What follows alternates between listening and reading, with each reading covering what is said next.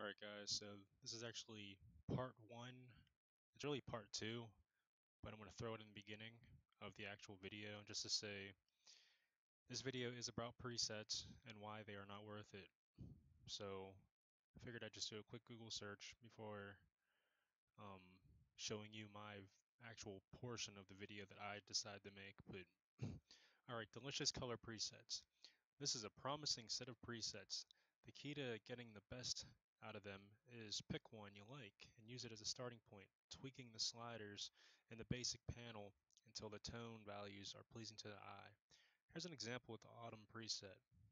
Original, which it's going to sound weird, but with the original, this rock formation is a lot better than even the autumn preset for the simple fact that my eyes are more drawn to the subject but with this one, my eyes are drawn to everything. Weird. Alright, another with the Blue Love preset. I don't see anything different. Except for, like, the rocks aren't as, like, sharp.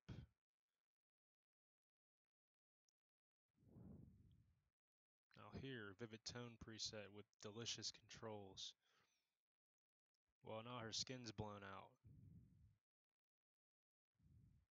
Verdict. I like these and think they have a lot of potential for portrait processing. Good for you, I don't. Look at her skin tone. Dark Pepper doesn't really look anything different than the free preset that you'll see in the next part of this video. Alright, but I'm done looking at these. I want to scroll up to go here. Delicious Colors, $40. Analog Story, $40. Black and Pepper, $40 distinct analog.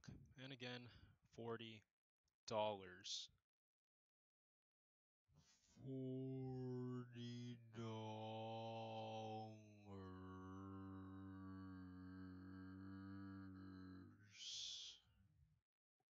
No. If people are going to pay for these, I'll design my own presets and sell them for $5 for a whole kit. And if you buy them, and if you don't like the way they go on top of your picture, you could just give me your picture and I'll edit it for you if you're that dang lazy to do your own stuff. And this part of the video is over. $40. Alright guys, so this isn't really much of a, how do I put it, tutorial or more or less just a little rant about people using presets for everything. And I'm not going to name any names, but it's one of those things where presets, not only do you pay for them unless you find ways to get them for free or somebody creates them for you, it's not really showing your admiration for your photography. Like when you snap a picture, let's say of like just anything really. I mean, it's photography, so you can have a picture of anything. Whether it's like a, a little bug, which, yeah, maybe not being the best focus, or a person, or little butterfly, whatever you decide to take a picture of. It's your craft. It came out of your camera. So do the best you can with what you have and what you do. Alright. So don't use presets. Let's see. So if I click on these presets, it's doing interesting things.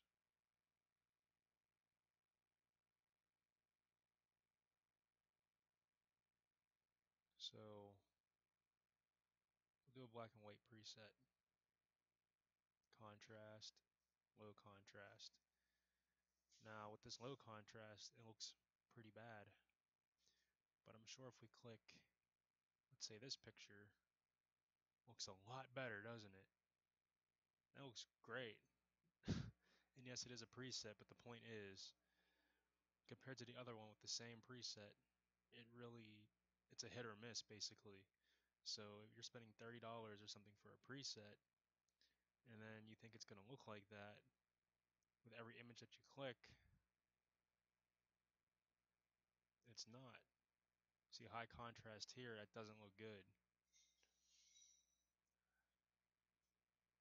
But here it doesn't look too bad. But the low contrast one does. And I'm sorry for saying that's great like that. I, I wasn't expecting that. I've actually never used I've never used any of these presets.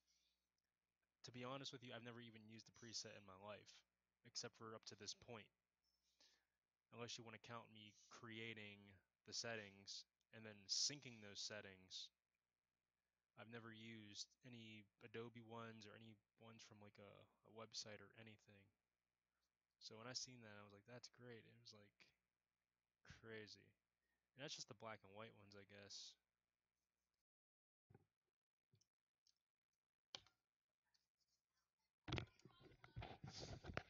Alright, I'm back. Um,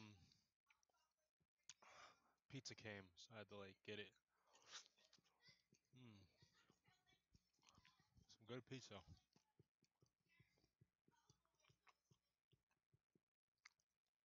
Alright, so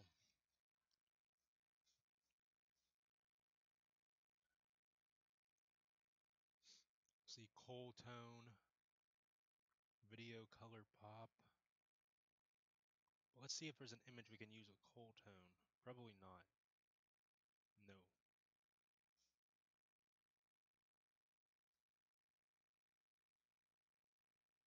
What a picture of my daughter. Probably not. But you know, it works out better than the other ones, so that's basically the rant. Don't use presets. Don't buy presets. Don't be lazy. Please. Do not be lazy. Even if you take an underexposed image at 8:30 at night when it's really dark, don't use presets.